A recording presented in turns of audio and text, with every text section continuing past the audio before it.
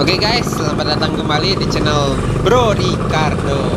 Dan di vlog kali ini saya mau ngabuburit dan sambil nyari takjil. Karena ini adalah ngabuburit pertama saya di bulan puasa tahun ini teman-teman.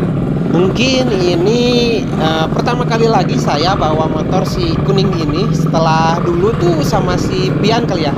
Vlog terakhir itu sama si Pian Yang jalan-jalan ke yang nikung-nikung itu. Makanya buat kalian yang belum nonton yuk tonton dulu linknya di deskripsi teman-teman.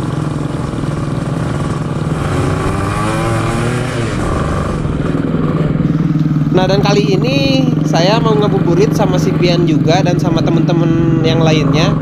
Dan mereka udah ada di depan nungguin saya karena saya itu benar-benar paling lelet teman-teman dan setelah lama saya nggak pakai motor ini karena kan saya kemarin-kemarin itu pakai mulu yang Satria.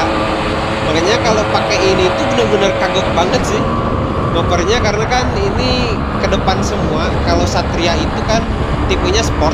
Jadi satu ke depan dua ke belakang. Nah kalau motor ini bener-bener jadi kagok banget sih. Ini ke depan semua teman-teman tapi yang saya agak nyangka itu teman-teman sekarang itu di Tasik benar-benar banyak banget si F1 ZR karena e, mungkin di sirkuit Bukit Besar Tasik sekarang pada pakai F1 ZR teman-teman. Makanya di Tasik itu benar-benar banyak banget sih sekarang pakai F1 ZR dan kalau menurut saya sih e, emang sih enak F1 ZR cuman kalau dibandingin sama Satria benar-benar jadi nggak enak sih kalau naik motor ini karena si giginya itu kan ini cuma 4 dan kalau si Satria itu ada 6 teman-teman. Nah di depan ini mereka udah nungguin saya dari tadi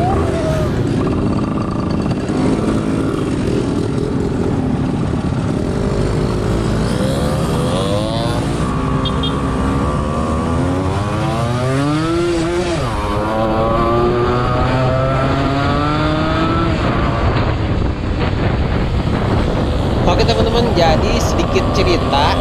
Motor ini itu kalau misalkan RPM-nya tinggi, tenaganya benar-benar keluar banget sih teman-teman. Tapi kalau di RPM bawah, nah motor ini itu benar-benar nggak enak banget sih, nggak ada tenaganya. Ya mungkin karena si OS-nya udah agak gede dan kata si bengkelnya itu, jadi motor ini exhaust-nya udah pada gede juga makanya si tenaganya itu harus di RPM tinggi teman-teman cuman kalau misalkan di RPM tinggi motor ini benar-benar enak banget sih buat ngegas gitu kan. Ada temen dua tak anjir. Nah dan di depan si Opay itu motornya baru ganti blok. Katanya kemarin bloknya kan udah pakai RX udah gede banget. Sekarang dia udah ganti ke blok OS nya itu yang 50 teman-teman. Dan sekarang motornya lumayan kece banget sih kalau menurut saya dan si velgnya uh, baru juga dia. Makanya kelihatannya kece banget sih kalau menurut saya. Nah dan itu ada teman-teman Alfa Tasikmalaya sekarang di, Tasik itu benar-benar banyak banget sih Alfa nggak tahu karena harganya sekarang udah agak nurun kali ya. Kalau dulu tuh pas tahun 2019 atau 2009 2018 lah ya dulu tuh harganya bener-bener tinggi-tinggi banget teman-teman di Tasikmalaya hampir nyampe 3 sampai 4 juta sih kalau misalkan si motornya komplit gitu kan. Dan motornya agak bersih lah ya. Kalau sekarang itu kisaran harga 2 juta sampai dua setengah itu udah dapat Alfa teman-teman. Cuman ya kondisinya ya gak bagus-bagus banget sih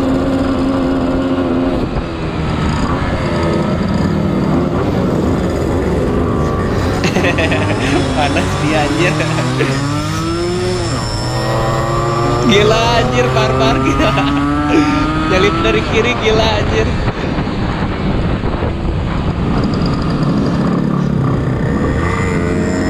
Anjay ada motor impian cuk cuk. Aduh gila gila gila. Mudah-mudahan saya kebeli teman-teman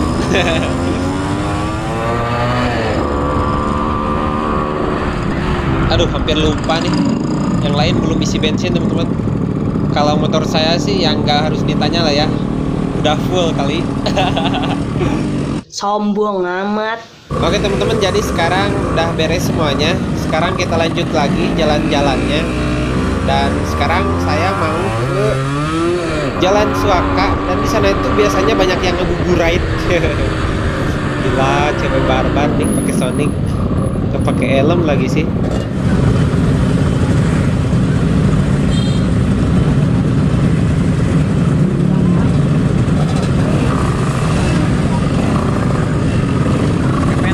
Hah?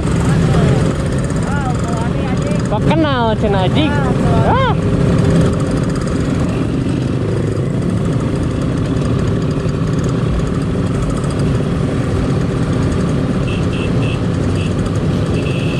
Udah bubu guys Udah ibu terus ngelaksonin anjay. Gila diem aja. Napa sih bu ibu ini? Ini di belakang nih Gambit nih.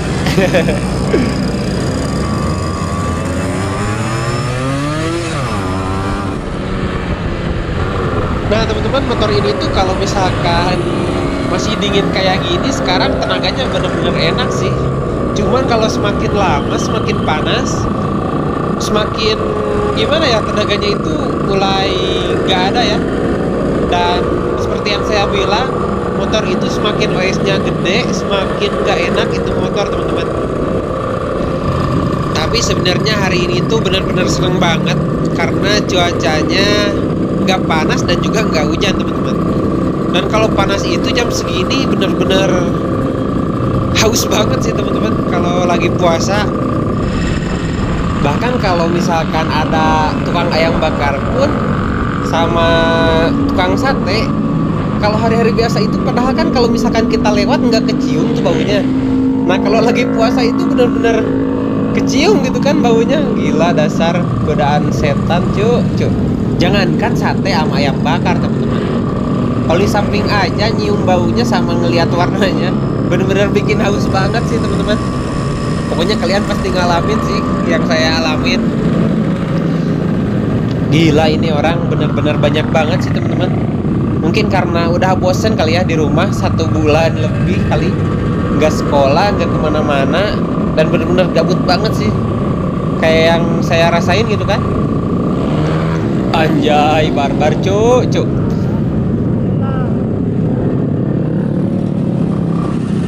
Gila teman-teman, sumpah ini banyak banget sih.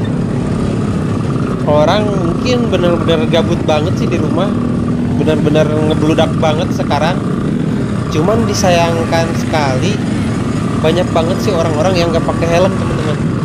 Padahal kan itu safety yang utama ya kalau saya tuh bener-bener paling nggak bisa kalau misalkan nggak pakai helm teman-teman kecuali mungkin kalau misalkan ke warung yang paling deket dari rumah ya mungkin nggak usah lah ya nggak usah pakai helm cuman kalau misalkan jaraknya agak jauh itu bener-bener gak enak banget sih kalau nggak pakai helm Nah teman-teman di kanan saya ada web stroke nih Web stroke anjay Anjay, barbar cuk. Motor Alfa itu si Devin udah gila banget sih motornya teman-teman. Dia tuh hampir habis 10 juta kali ya buat ngemodif motornya nih. Gila, gila, gila. Sebenarnya sih udah ada rencana saya tuh pengen nge-review motor si Devin itu karena bener-bener menarik banget sih motornya teman-teman. Dia tuh udah full chrome dan pokoknya full modif lah ya tapi nggak ninggalin motor Alfanya itu tuh dan si knalpotnya ini benar-benar mirip suara King sih teman-teman gila gila gila gila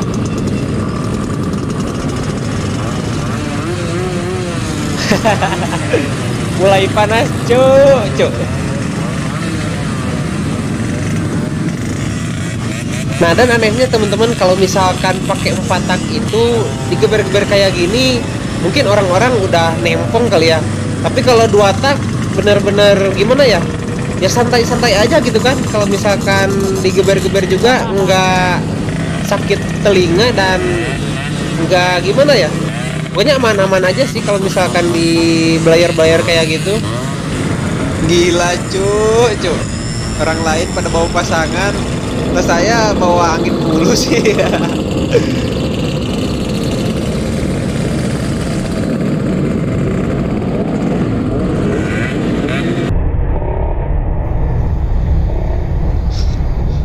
Gila cu. Astar bisa jumping juga cu. Anjay. Mantap sih ranking suaranya bener-bener. Si Bambang bawa apaan cuy? Aduh itu Kalau masuk ke rantai bahaya tuh. Bisa-bisa uh, Ngegiling ke rantai bisa-bisa jatuh tuh.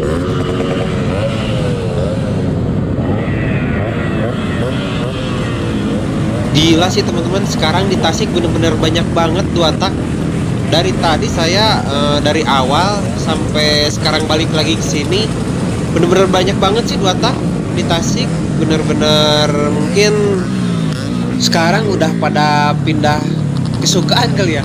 Sekarang sukanya semua dua tak kali ya. Dan sekarang bener-bener mahal-mahal sih dua tak mulai dari Satria F1 dan yang lainnya sekarang benar-benar mahal-mahal sih teman-teman tapi benar-benar disayangin banget sih teman-teman. Banyak banget sekarang yang nggak pakai helm. Padahal kan ini jalanan udah mulai rame. Padahal kan helm buat ngelindungin diri sendiri juga kali ya. Oke teman-teman mungkin video kali ini segini saja ya. Uh, mungkin ini vlog pertama saya di bulan puasa ini. Nanti mungkin ada part 2 nya ngabuburit lagi pakai si Satria teman-teman Terima kasih buat kalian yang sudah nonton dari awal sampai akhir. Jangan lupa like, comment, dan subscribe teman-teman. See you di next vlog.